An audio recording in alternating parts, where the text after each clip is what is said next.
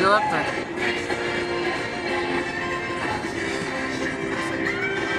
It's here. I don't either.